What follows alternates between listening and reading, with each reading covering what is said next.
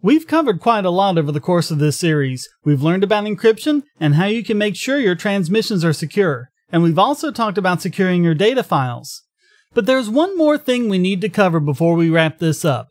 No matter how much we need to secure our personal data from unauthorized access, there are times when we need people to access it when we're unavailable. What if you're in a coma for a year and your family needs access to your financial data so they can pay your bills?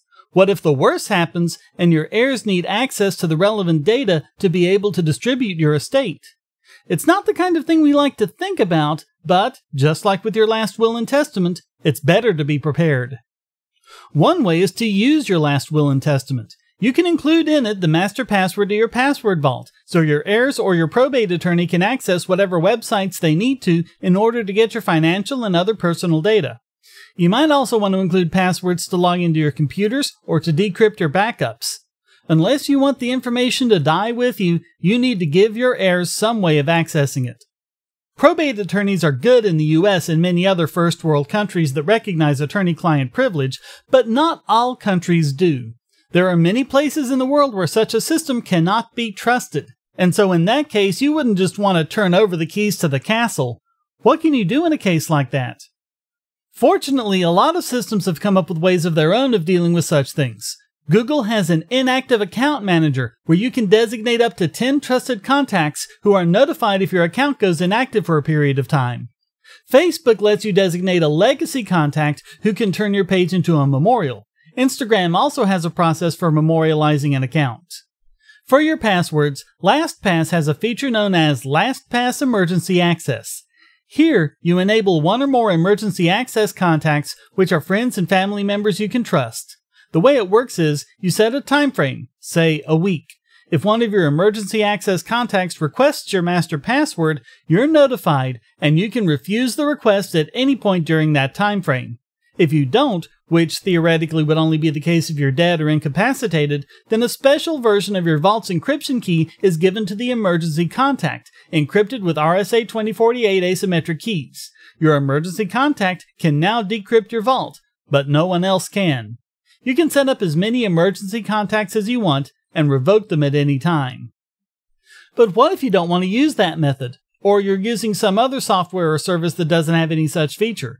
There's a way that you can share practically anything passwords, encryption keys, account numbers, or whatever with a number of trusted parties.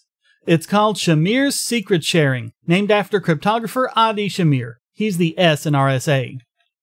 To explain how it works, let's look at an old math puzzle.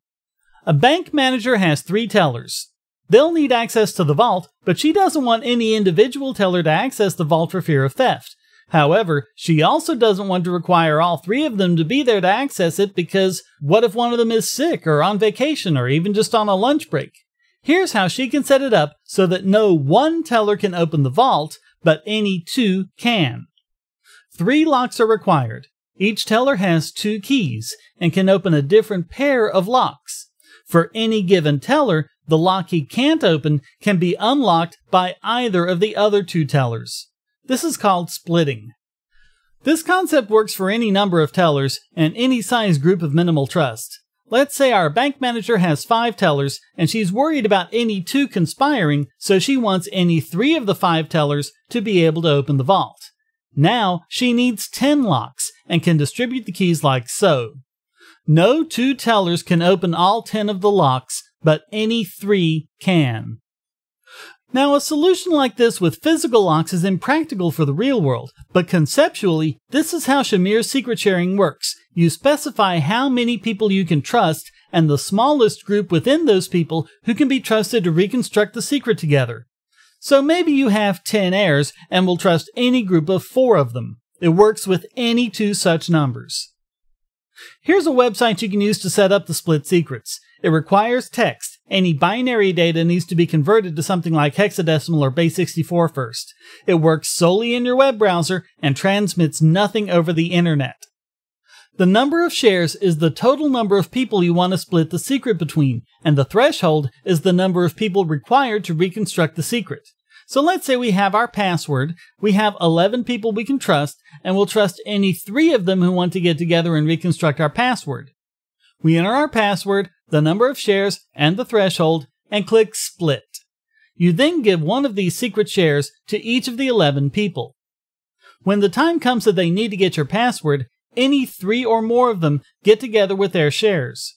They each input their part of the secret and hit reconstruct. Any three of them can get together at any time and reconstruct the password.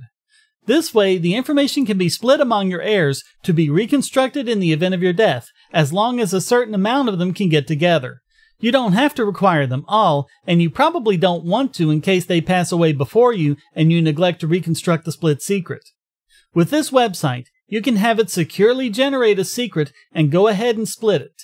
You could then use that secret as the password for a VeraCrypt volume which contains everything they would need your password vault, important files, account information, etc.